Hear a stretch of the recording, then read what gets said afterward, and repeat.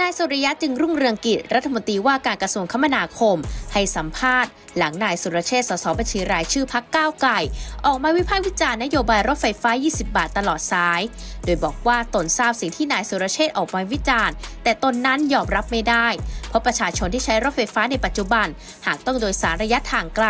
ราคาโดยสารสูงสุดถึง 192 บาท ถือเป็นภาระของประชาชน เมื่อถามว่ารถไฟฟ้าสายสีเขียวและสายอื่น ๆ จะทำให้ราคา 20 บาททั้งหมดใช่หรือไม่ นายสุริยะกล่าวว่าถูกต้องทุกสายคือ 20 บาท นายสุรเชษบอกว่าทำไม่ได้ ตนนั้นจะทำให้ดู เมื่อถามอีกว่าวิธีการที่จะทำให้ได้สำเร็จเป็นอย่างไร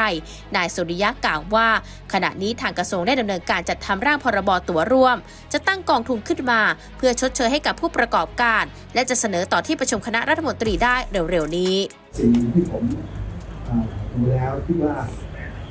การวิพากษ์วิจารณ์ในเรื่องของรถไฟฟ้า ที่ผมกำลังจะดำเนินการให้ 20 บาทตลอสายผมอ่านตามข่าวว่าท่านสุรเชษฐ์ว่าเป็นเรื่องซึ่งไม่เห็นด้วยและไม่ควรท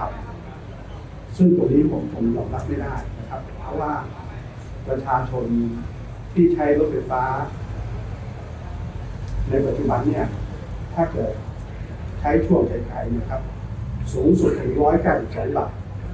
ซึ่งเป็นภาระกับประชาชนเป็นจำนวนมากโดยเฉพาะบางคนก็มีลูกมีหลาน